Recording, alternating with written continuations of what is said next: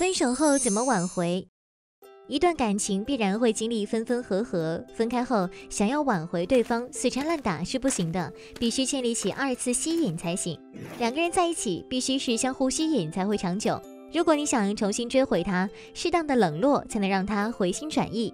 既然他和你分手，必然是对你有些地方不满，无法再和你相处下去了。